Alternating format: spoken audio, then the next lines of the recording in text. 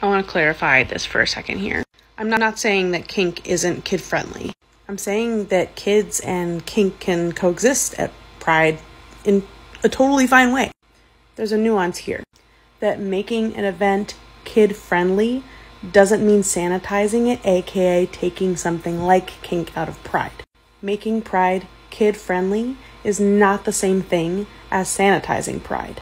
Making a Pride event kid friendly, or I, I prefer kids safe, is about making sure we're including and putting kid and youth voices and including them in Pride and particularly any justice spaces. Kids and youth voices are vital to justice movements because they are a vulnerable and marginalized group on their own, which includes their intersecting identities and oppressions. So I'm not saying that kink isn't appropriate for kids. I'm saying they can and should coexist with each other. Opening a performance with lyrics like It's Okay to Be Gay for a room full of adults is one thing, but it's entirely different for a room full of kindergartners. What you just heard is the theme song for my web series, Queer Kid Stuff, where I make LGBTQ and social justice videos for all ages. And when I say all ages, I mean literal babies to your great great grandma. In the series, my stuffed bear co host and I talk about the LGBT community, activism, gender and pronouns, consent, and body positivity. In one of my earliest episodes about gender, I used the idea of pronouns to underscore the definition and introduce gender neutral pronouns like they and them.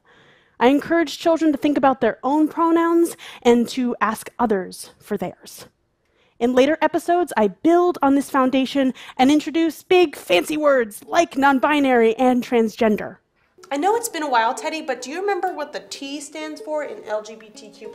Trans! It stands for trans or transgender. That's right. And what does it mean to be trans? It's when you do not identify with your assigned gender.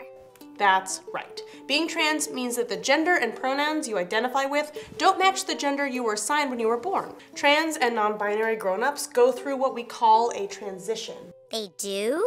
Not all trans and non-binary people go through a transition, but a lot do.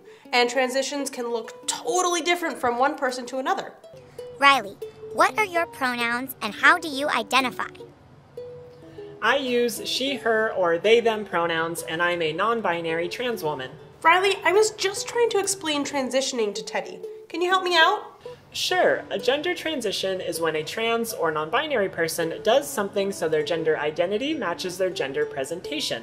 This can look really different for different trans and non binary people.